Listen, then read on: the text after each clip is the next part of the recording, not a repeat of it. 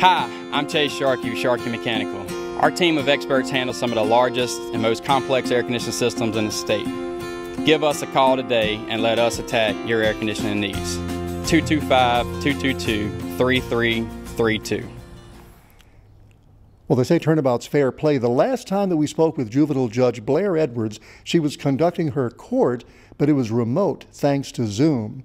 Now we're inside the actual courtroom, and if it wasn't for the pandemic, this would be the actual place, at least in Livingston, where you conduct juvenile court. That's correct. Um, and you know, I really like to be with the children. I like to get off the bench, especially during drug court and our specialty court meetings, um, to you know be able to high five them, able to hug them, able to just get with them and talk to them. And certainly with Zoom, we can't. But the benefit to Zoom, and one of the things that we're going to take forward with us, is that we can meet with them so often or whenever they need to talk to us they can um, call. We can have we now have um, zoom group meetings with the girls and we have a girls group and we have a boys group and we talk to the boys about the nfl draft and we talk to the girls about hair and different things going on and different issues that they may want to talk about um, without the boys in the meeting. So it is really, there's something uh, good that comes from everything. And so we're learning how we can utilize. Um, you know, remote, virtual uh, tools in order to conduct our business and to stay close contact with our clients. Well, for example, if you go back to a regular court, which presumably you will do in this very room in a month or two or whatever it is, could you incorporate Zoom so that maybe there's somebody incarcerated who needs to say something, instead of all the rigmarole of uh, them coming in from jail, you can do it now remotely. That's so funny that you ask. Um, that's exactly what I'm talking about. Being able to work smarter, not harder, and be more efficient with everything that we have now. And so, for transport orders, um, we can now send a link to, you know, Tensas or Richland or in another state and they can or if they're if, if a parent is in another state or a child. We can now they can appear remotely uh, with zoom uh, in our courtroom with um, the regular court staff the regular people coming into the court. So um, we definitely are going to incorporate this in our everyday uh, court and with our children. So you've learned a lot of lessons using zoom We've learned tremendous uh, amount of lessons. We've learned things that really is going to benefit the children and families of our court, and that's ultimately what we're here for. So it occurs to me the pandemic has got to be exceptionally hard on children and teenagers. Are you seeing that? We do. Um, however, things are um, very quiet which leads me to believe that after this is over, we're going to see the fallout from it. We don't have a lot of uh, like schools. One place that we learned so much about children, their behavior indicates something that may be going on in the home.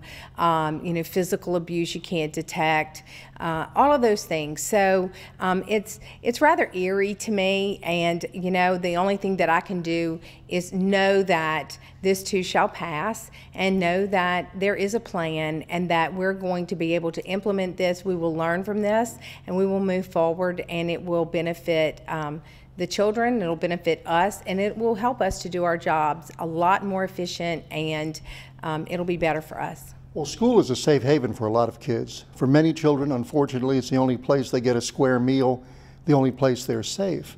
So it occurs to me that if, God forbid, the fall semester is called off or even postponed, could be a real hardship on some kids. Where do you split the baby in that?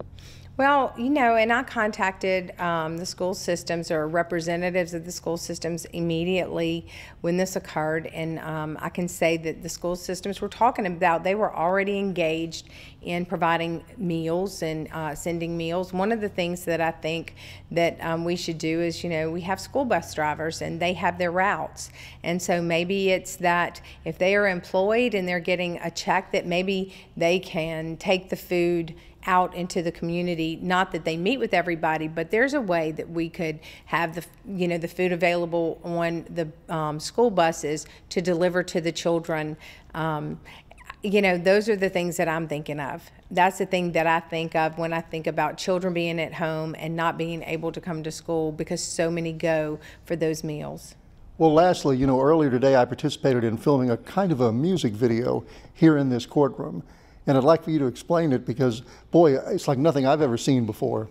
Well, um, it's certainly not professional, but um, a group of, you know, my, the staff, uh, my drug court team, we got together from all parishes, um, sheriff's department, to do it to Ain't No Mountain High Enough. I hope that they allow us to air it. We will certainly disclose um, that we don't own the copyrights to the song.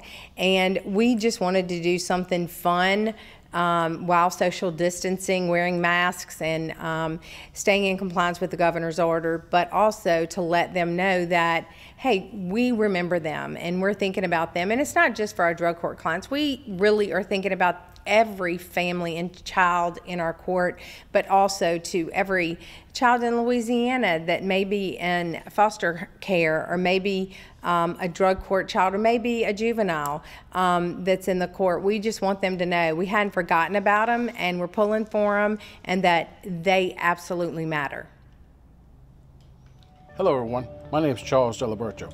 I'm running for 7th Ward Marshal this coming November 3rd of 2020. I ask that you follow me on my Facebook page at GoBert 2020.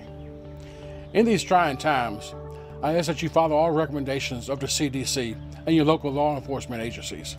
And thank you very much. Stay safe, God bless, and go Bert 2020.